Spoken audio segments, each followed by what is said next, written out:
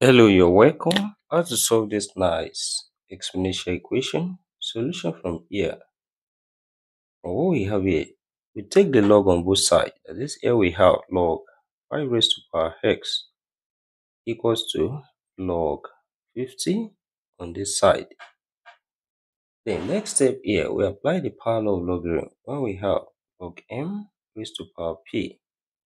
This same thing as p log m. This here we have x log 5 equals to log 50 from here. That is here, we divide both sides by log 5. Divide this side by log 5. Also divide this side by log 5. Which implies that log 5 cancelled each other. And we have x equals to log 50 over log 5. The next step here, we can express 50 as 5 times 10. This here we have x equals to log 5 times 10 over log 5. Then here, this follows the law of logarithm. When we have log a times b, this same thing as log a plus log b. That is here, all we becomes x equals to log 5 plus log 10 over log 5. Then here we separate this into two fractions and we have x equals to log 5 over log 5 plus log 10 over log 5. As this here, we have log 5 cancel each other, one left here, which implies x equals to 1 plus log 10 over log 5. Then, next step here, we can also write 10 as 5 times 2. This here we have x equals to 1 plus log 5 times 2 over log 5. Then this also follows log logarithm and we have x equals to 1 plus log 5 plus log 2 over log 5. This here, we separate this into two fractions and we have x equals to 1 plus log 5 over log 5 plus log 2 over log 5.